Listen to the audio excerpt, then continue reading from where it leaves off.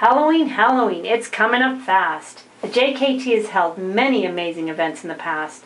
This year is no exception. We've really raised the bar. We're showing a movie about someone from afar. We are presenting E.T., the extraterrestrial, at the Revue. It's an amazing movie, a science fiction classic from 1982. Steven Spielberg directed, so you know it's got to be great. A story about a boy, Elliott, and a gentle alien's fate.